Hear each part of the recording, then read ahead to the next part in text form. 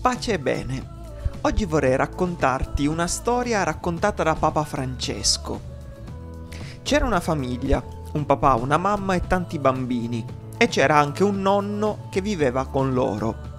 Ma era invecchiato e a tavola quando mangiava, ad esempio la zuppa, si sporcava tutto, la bocca, il tovagliolo, e non faceva una bella figura.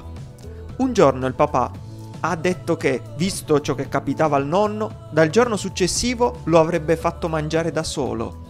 Comprò un tavolino e lo mise in cucina. Così il nonno mangiava da solo in cucina e la famiglia nella sala da pranzo.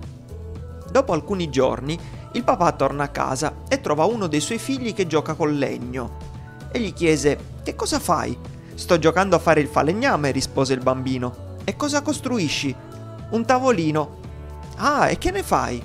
Mi serve per te, papà, per quando diventi vecchio come il nonno. Questa storia, diceva il Papa, mi ha fatto tanto bene per tutta la vita.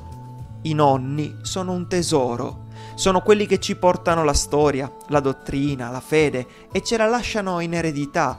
È vero, a volte la vecchiaia è un po' brutta per le malattie che comporta, ma la sapienza che hanno i nostri nonni è l'eredità che noi dobbiamo ricevere. Un popolo che non custodisce i nonni, che non rispetta gli anziani, non ha futuro, perché ha perso la memoria. Preghiamo dunque per gli anziani e i nostri nonni e le nostre nonne e diamoci da fare per amarli. Che il buon Dio ti benedica.